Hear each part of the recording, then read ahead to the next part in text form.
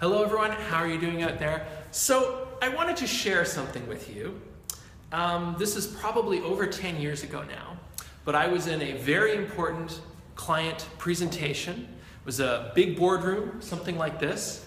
And I was at the front of the table, I was standing, I was commanding respect, and I was sharing these new ideas, and people were excited.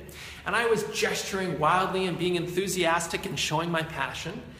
And I did this great grand gesture, and I knocked over a big glass of water.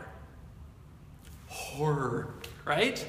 Okay? And it spilled all over the table, and I've never forgotten it, and I'm sure the people in the room didn't. Okay? This is just one of the, the fears that we have when we go out to present or pitch an idea that we are going to screw it up. Okay? Now, there's always that possibility. But do you want the negative to take over and rule everything? Or do you want to look at this whole other piece, which is the positive? Okay?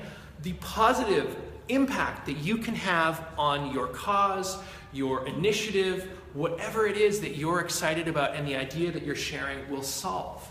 Okay? So you can live in the fear of screwing up, or you can live in the positive, live in the excited place of having an impact, engaging others, and getting them to join you on this journey and support your cause. Okay? So always keep that in mind. Yes, anxiety's there. I get it. I'm going to talk about some of the other things in another video, but remember, don't stay on the side of negativity and fear. Embrace the positive, embrace the potential, show your passion, love what you do, and get out in front of your audience, inspire them, and get them to join you on this journey.